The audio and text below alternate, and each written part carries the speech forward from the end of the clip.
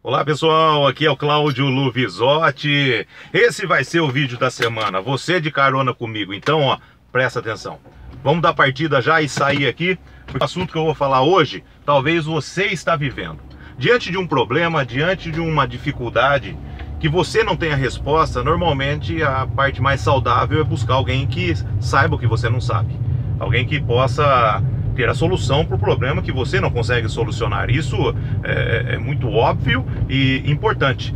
Agora, o que não falta são palpiteiros. É. O, o que não falta são gurus de plantão. É, especialistas, experts, pessoas que se formaram no, no DPN, Departamento de Porcaria Nenhuma, que acreditam que podem ser a solução de um problema. Ah, esses gurus de plantão, esses experts, esses especialistas, você tem que investigar muito frente à promessa que eles entregam para você. Porque na maior parte das vezes, a maioria conhece ainda menos do que você do seu problema. Mas, como uma pessoa que está debilitada, uma pessoa que tem a necessidade de um problema, ela normalmente acredita em quem pode ser uma promessa de solução. A realidade, meus amigos, que míope que acompanha cego cai no buraco. É, não tem como você negar isso. Ou seja, não tem como você entregar um problema que você tem a uma solução que você espera a uma pessoa que simplesmente se intitula como especialista, que se intitula como expert. Procure saber um pouco da, da vida anterior dessa pessoa, do que, que ele fez, do que, que ele estudou, do que ele aprendeu. Eu vejo coach, coaches de carreira que nunca tiveram emprego. Eu vejo, por exemplo, especialistas em vendas que nunca venderam nada. Né? Eu conheço, por exemplo, uh, gurus né, de autoajuda que nem a si próprio conseguem se ajudar. E normalmente a promessa, o texto, ele é sedutor. Você acredita que a pessoa pode resolver o seu problema, mas acredite, se o problema fosse tão fácil ser resolvido, você já teria solução para isso. É.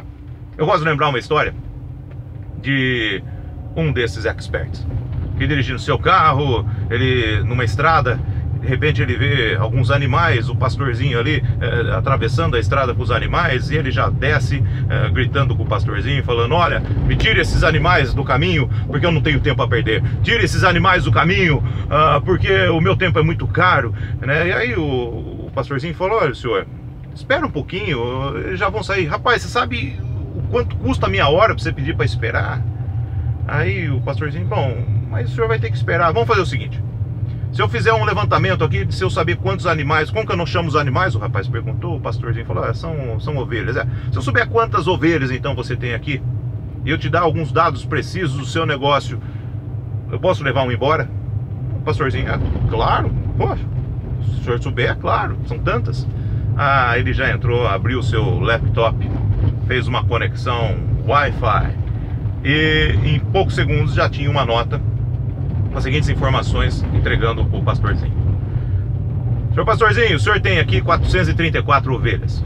60% delas estão prenhas.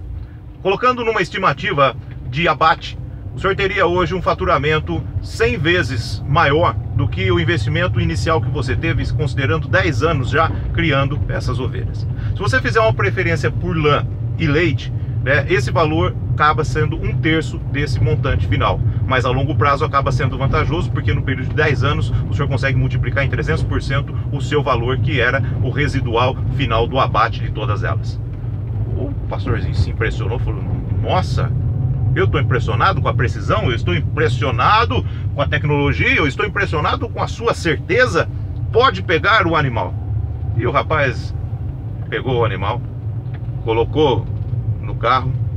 E aí o pastorzinho que foi sair bateu no, no, no, no, no carro e falou: Olha, agora se eu descobrir o que o senhor é, o senhor devolve o que o senhor pegou?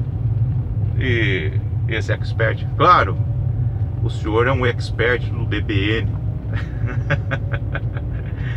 Mas como assim você sabe que eu sou um expert? Primeiro, o senhor veio aqui sem eu chamar.